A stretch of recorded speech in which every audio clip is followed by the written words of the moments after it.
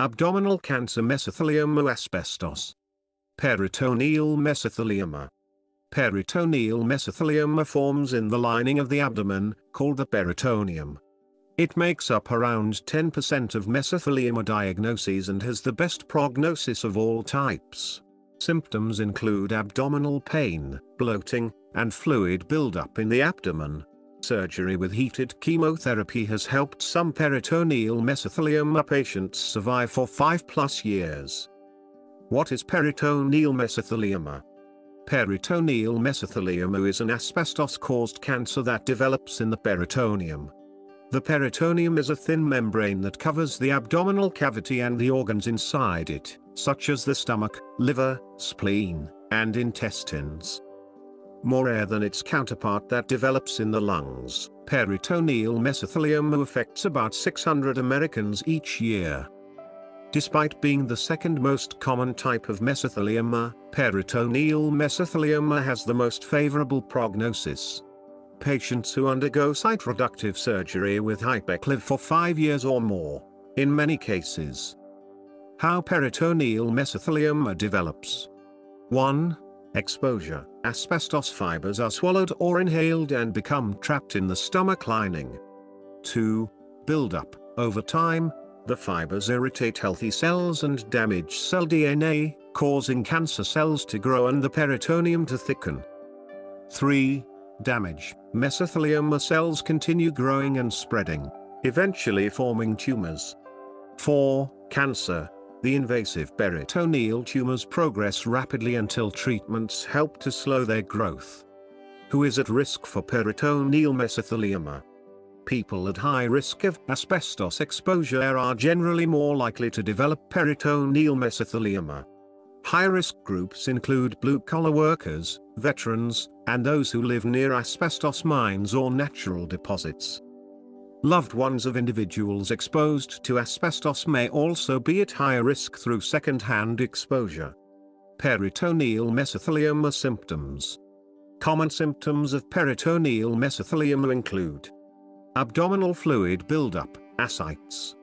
Abdominal pain. Bloating, abdominal distension. Fever and night sweats. Fatigue. Nausea and vomiting. Loss of appetite. Unexplained weight loss. The symptoms of malignant peritoneal mesothelioma may not appear until 20 to 50 years after the initial exposure to asbestos. These symptoms tend to be mild and vague. So many patients aren't diagnosed until after their cancer has spread. Peritoneal mesothelioma diagnosis.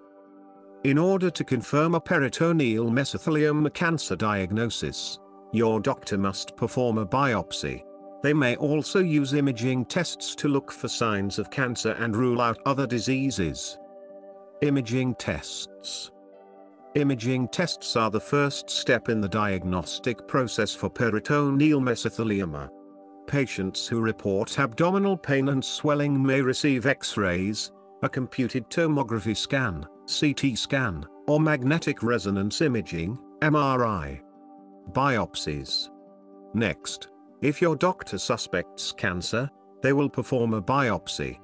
During this procedure, your doctor will collect a fluid or tissue sample and examine it under a microscope to see if cancer cells are present. Types of biopsies for peritoneal mesothelioma include fine needle aspiration, core needle biopsy, or diagnostic laparoscopy. Although biopsies are more invasive than imaging tests, doctors rely on them to make a confident diagnosis. Diagnosing peritoneal mesothelioma stage. Peritoneal mesothelioma is not staged using the typical tumor node metastasis TNM, cancer staging system because it advances in an unusual way, often remaining in the abdomen instead of spreading to other parts of the body. Peritoneal mesothelioma is instead classified as early or advanced. Getting a second opinion because peritoneal mesothelioma is a rare cancer, even an experienced oncologist can misdiagnose it, which could delay or eliminate the possibility of curative treatment.